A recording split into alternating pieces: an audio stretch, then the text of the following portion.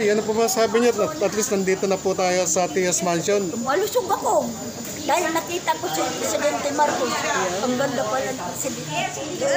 Ah, galing na po kayo sa Bayog na yan. Ayan, napakaganda, no? Ngayon pa lang ako nakapasok. Oh, Ako, paglalaban ko ang Marcos, kung wala tayo utang na loob sa tatay niya, simba kayo ng simba, demonyo pala kayo. Ay. Dahil ang Marcos ang nagpaganda ng Pilipinas. Kung hindi umalis si Presidente Marcos sa, sa EDSA, tadi maraming Pilipinong namatay. Tapos sasabihin niya, magnanakaw, mamamatay tao ka. Sa kapal ng mukha mo, ikaw ang magnanakaw, hindi si Presidente Marcos. Kung magnanakaw, ba't hindi ninyo pinuasaway? Kayo ang magnanakaw, ang Pilipino matalino. Ako, nagutang ako na loob kay Presidente Marcos. Santol Manggalang, ma- marami ako napakinabangan sa ano balong, marami akong pautang, hindi nagsibayad, mga buwan yun. ah, ayan, gusto ko sa mga forever, ah, forever At Marcos siya pa si. Sandro, sana mabuto ko pa ng Presidente Apo. Sandro Marcos. Lord, tulungan ako, abot ako 150 years. Kailangan sa sambayanan. Maraming salamat po. ah. Ingat kayo, dasal lang tayo sa sambayanan Pilipino. Ayan, ang mensahe po sa ating mga kababayan. Mga kababayan, huwag naman kayong maalira sa mga Marcos dahil hindi totoo nagbayarap sa atin. Si Bongbong, kaupo lang sasabihin ninyo mahal ang ba niya, kaupo lang ng tao. Ngayon, tinutulungan ang magsasaka. Tala, para hindi na tayo magutom.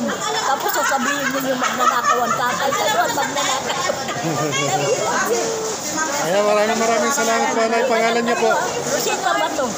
Ayan, so isa po siya sa Waray, mga waray, at malugan sa aman. waray-waray at Balogan Samar. Ingatan kayo, tayo.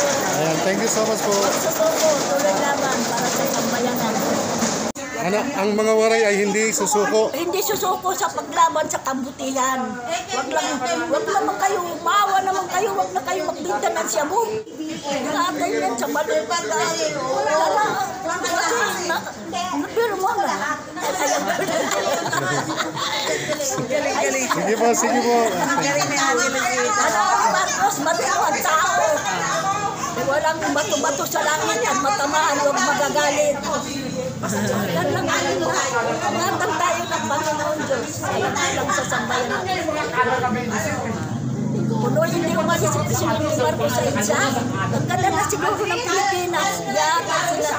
Hindi nga na. Tapos, tapos ang mga ang mga kanunong siguro kinalaya sa ano, ulong bato. Tapos ngayon nanalo si Bongbong, nag-ano lang dito sa atin. Masama mo, nakikisama lang tayo. Hindi tayo nag-ano, sa tayo sa taga-ibang bansa. Sila ulo sila. Lalo na yun ko Panginoon, patawarin niyo ako. Sige po, salamat po. Bukong, ingatan ka ng Panginoon Diyos. Siya. Na walang mainggit sa kanya. Po. Pag nahuli naman sila, nagagalit sila kay Duterte. Huwag ka sita. Pasok na, pasok na. Huwag ka magbinta ng sabi para hindi ka Chocks block.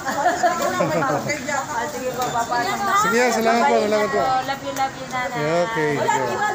Amo.